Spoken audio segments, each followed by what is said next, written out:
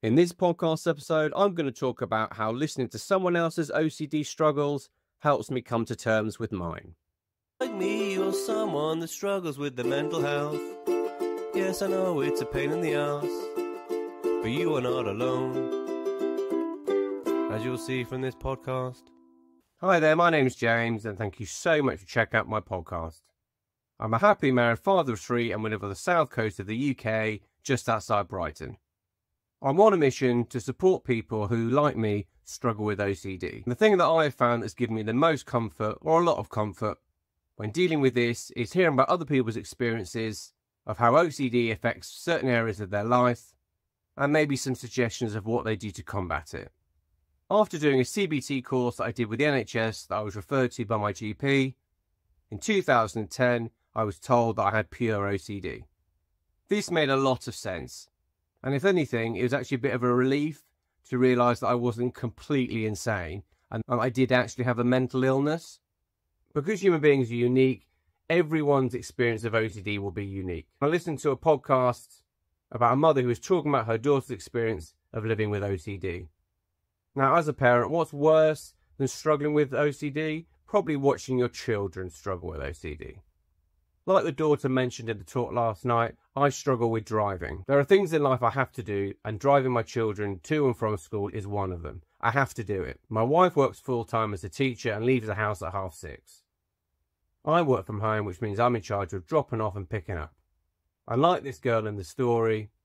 I don't think I can ever remember a situation where I've driven someone without convincing myself that I might have run someone over or hit a curb and damaged something or someone. It's constant.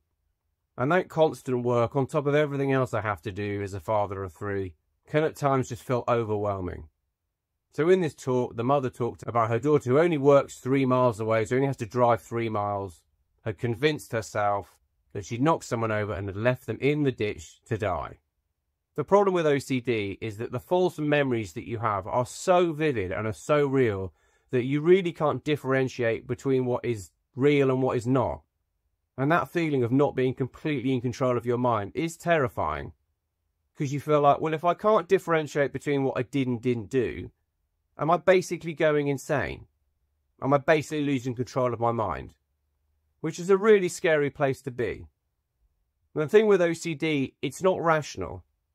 So checking the car for any damages, for looking underneath the car. Or for example, this morning when I see a plastic bag in front of me, stopping in the road and waiting until it's blown across so I can drive, just in case there was something in that plastic bag, doesn't help. It doesn't reassure me.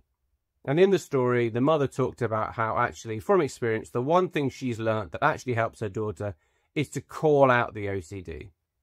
Because if you confront it, and deal with it rationally and calmly, it loses some of its power. So the mother was like, Yeah, okay, maybe you should get in the car and go and drive for three miles. Maybe you should go and hand yourselves in to the police. And this is something I have found to be true. If you actually call yourself out, well, yeah, maybe you did run over a plastic bag. What's the worst that can happen? Okay, maybe you did clip a curb. What's the worst that would happen? For starters, you probably know because you probably hear something. You're so acutely aware of everything going on around you, I imagine your senses might picked that one up. Instead of getting cross and frustrated with yourself for having these thoughts, acknowledge the thoughts. I think OCD is very similar to a very frustrated and persistent and grumpy and cross toddler who wants a biscuit. Ignoring their request of wanting a biscuit is not going to stop them asking for another biscuit. You're much better engaging, grabbing the nettle, and reasoning. And you know what? At the end of the day, it's just a biscuit.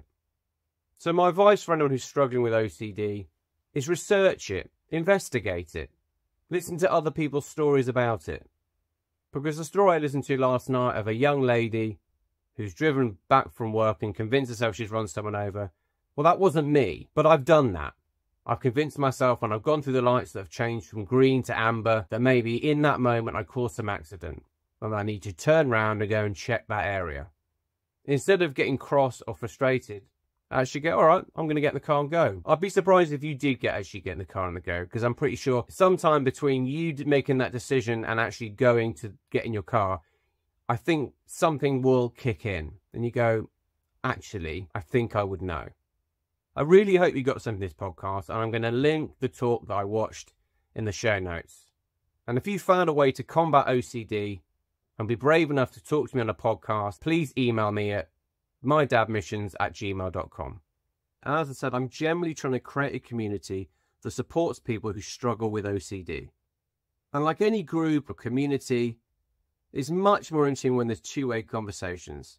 So if you have a question for me on anything to do with OCD, or you just want to say hi, that would be hugely appreciated. And if you like what I'm trying to do and want to support this channel, please subscribe and give me a like.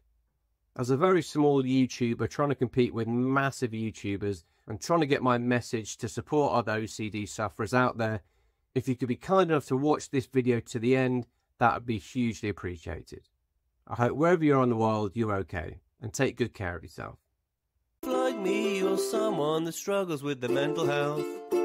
Yes, I know it's a pain in the ass, but you are not alone. As you'll see from this podcast.